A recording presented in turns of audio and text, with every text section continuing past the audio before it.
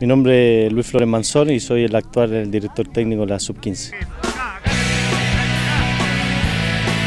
No, bien, muy bien, o sea, eh, lo tomo como volver a casa nuevamente, en otra faceta, así, eh, una satisfacción muy grande poder volver al club.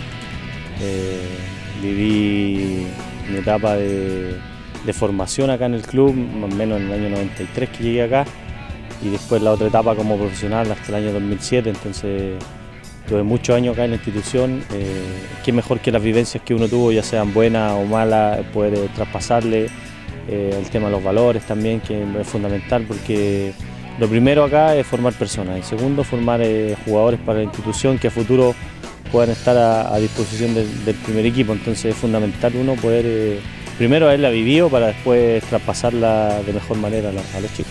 Ahora sí, vaya por ella. Importa, no importa, ahí corregimos, dale.